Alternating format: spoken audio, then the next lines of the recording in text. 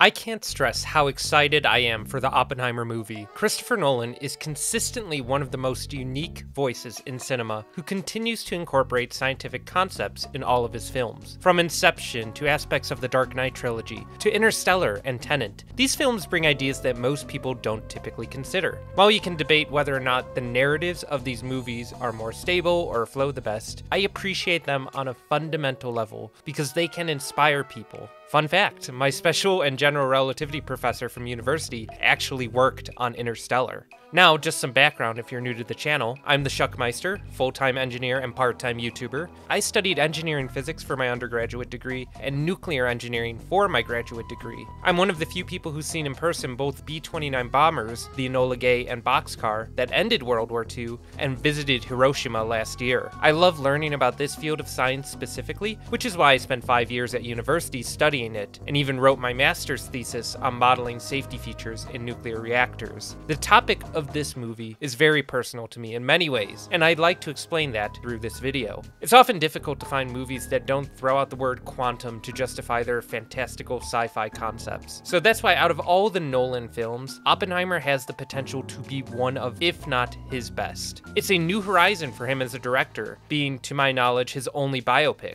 Someone like me, who's studied people like Oppenheimer for many years in college, know where this story is going. And for that reason, I'm even more excited that it's going going to be shared with the general audience. Robert J. Oppenheimer was a physics professor at UC Berkeley before he was recruited by General Leslie Groves to spearhead the Manhattan Project, America's $2 billion adjusted for inflation endeavor to acquire a nuclear weapon during World War II before the Germans could. See, by the early 1940s, the splitting of the atom and nuclear science had already been established by Heisenberg in Germany and verified by Oppenheimer's research group. Sustained nuclear reactions were being validated by scientists like Enrico Fermi with the Chicago Pile Number 1 and other famous names attached to the Manhattan Project. Another fun fact, while my grandpa was serving in the US Navy during battles like Leyte Gulf in the Pacific, his sister, my great aunt, was working on the Manhattan Project. This massive effort had operations all across the country, mostly in locations where national laboratories currently stand. And there are so many stories that could take hours to cover. So that's why with this video, I wanted to cover some of the craziest stories that are relevant to this movie that you may or may not hear about otherwise. And where's a better place to start than the time that Oppenheimer almost blew up the atmosphere? In the lead up to the Trinity test, they were dealing with the very small possibility that when they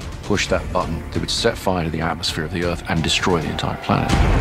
And yet, they pushed that button. The self ignition theory was propagated throughout Los Alamos during the Manhattan Project. This is an exchange between Oppenheimer and Arthur Compton, the leader of the metallurgical laboratory at Los Alamos and the namesake of Compton scattering. This quote is from Oppenheimer himself. Hydrogen nuclei, Arthur Compton explained to me, are unstable and they can combine into helium nuclei with a large release of energy, as they do in the sun. To set off such a reaction would require a very high temperature, but might not the enormously high temperature of the atomic bomb be just what was needed to explode hydrogen? And if hydrogen, what about the hydrogen in seawater? Might not the explosion of the atomic bomb set off an explosion of the ocean itself? Nor was this all that Oppenheimer feared. The nitrogen in the the air is also unstable, though in a less degree. Might it not, too, be set off by an atomic explosion in the atmosphere? The Earth would vaporize, I said. Exactly, Compton said, and with that gravity, it would be the ultimate catastrophe. Better to accept the slavery of the Nazis than run the chance of drawing the final curtain on mankind. The thing that Oppenheimer feared was a concept known as fusion, the process in which the sun creates helium in a nonstop reaction that produces an enormous amount of energy that keeps our world lit and going. Oppenheimer considered that this could potentially happen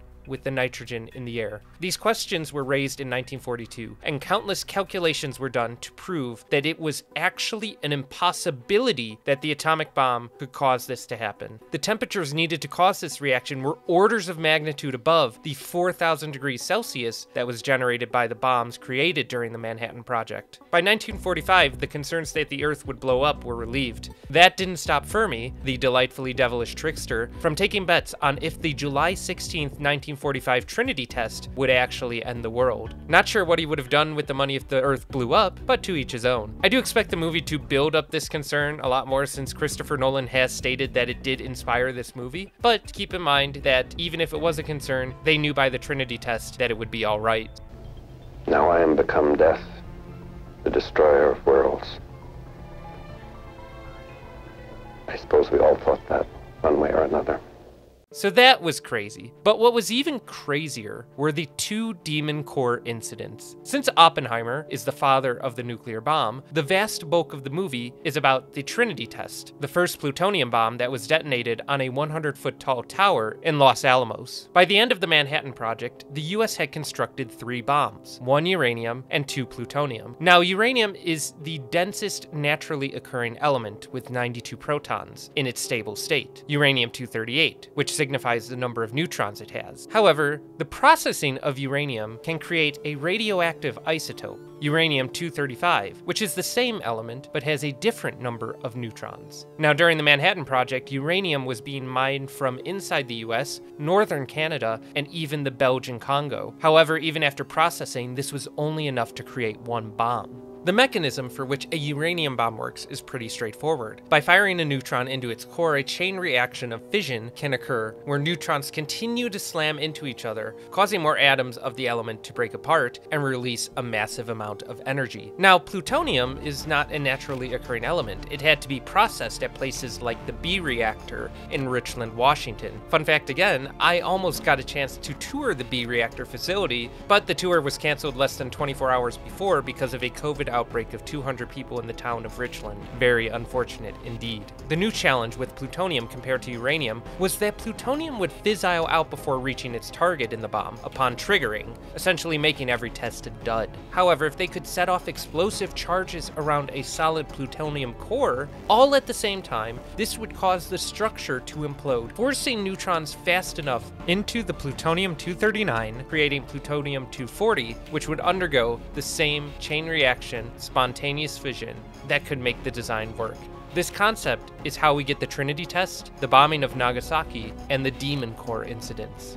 It is beyond shocking to me that the Demon Core incident happened after the bombs were dropped and the war ended, because this is just wild. This solid sphere of plutonium had the same design as Fat Man, the plutonium bomb that was dropped on Nagasaki, and was given the moniker Demon for claiming two lives while it was being assembled. In late August of 1945, tungsten carbide blocks were being installed around the core as a ring to reduce the size of the device by preventing neutron flux from escaping, thus reducing the mass needed to reach criticality for the desired chain reaction. These were the first reflectors, and nuclear power plants used the same concept to keep higher sustained power outputs during longer periods of time. Now, the problem was that these blocks needed to be installed manually and very carefully and unfortunately, a young Harry Daghlian made a mistake by placing the final block on the assembly. The core was at a state of super criticality, and Harry's knee jerk reaction to that warning caused him to drop the block into the center of the core, making it go prompt critical, which causes the device to start fissioning.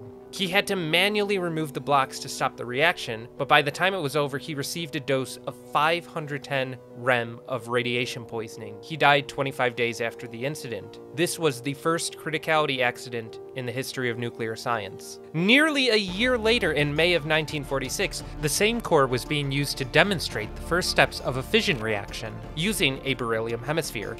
Louis Slotin tried to separate the hemisphere using a screwdriver, which was not experimental protocol, and it slipped, causing the upper hemisphere to fall onto the core, making it go prompt critical so hard that the air turned blue from all of the ionization energy created. As Slotin received a fatal dose of 500 rem of radiation. The Demon Core is a great example of the outcomes of nuclear weapons. Recently, I woke up to check Twitter and learned that there are people who genuinely believe that nukes don't exist. Simple arguments like these can easily debunk the irrational Twitter conspiracy theorists who have the mindset that if I didn't see it with my own eyes, it couldn't have existed. See, from my Inside Job video, you can tell I really enjoy the comedy of conspiracy theories like flat earthers, moon landing deniers, and the rest of your commonplace conspiracies. But nukes are kind of important and real, considering we spent an entire half century Cold War fought over the basis that they do exist. Radiation poisoning and the aftermath of such explosions are very real, and this is what it looked like. So, always stay curious and wise, and don't fall into the stupidity of those kinds of individuals. Atomic test. The Russians have a bomb. We're supposed to be years ahead of them, but uh, so what were you guys doing in Los Alamos?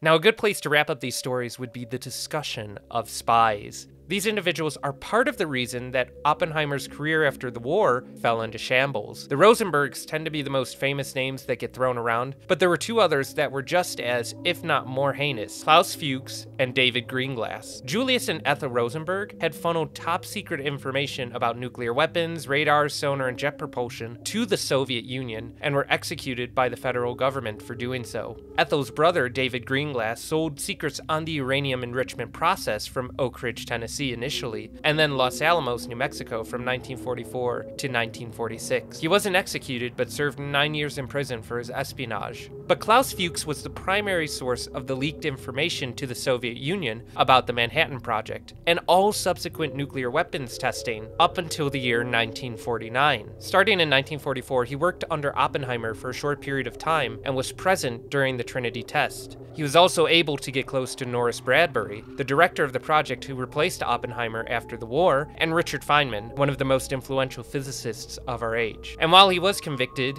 he only served in prison for nine years in the UK before migrating back to East Germany and becoming a renowned physicist there. The history of Oppenheimer and the Manhattan Project is a well weaved story, and I can't stress enough to say how much I appreciate that it's finally being adapted to the big screen in this way by a director I love. Seeing the effort and craft going into this Christopher Nolan film is just a joy, and I cannot wait to see it. Thank you so much for watching. I really had a personal connection with this subject matter for obvious reasons. If you're excited about the film, please let me know. There are so many great movies coming out this summer from Across the Spider Verse, Sound of Freedom, Mission Impossible, and Barbie that are all just sucking the money out of my wallet right now. Let me know which films you've seen or are planning to see, and what you're most excited about in the Oppenheimer movie. Post those down in the comments below. I might review the movie after I see it, so let me know if you're interested in that too. Have a beautiful Duang, and I'll see you all next time very Christopher Nolan in that I don't understand it, and it gets worse the more questions you ask. How bad is it on a scale from Inception to Interstellar to.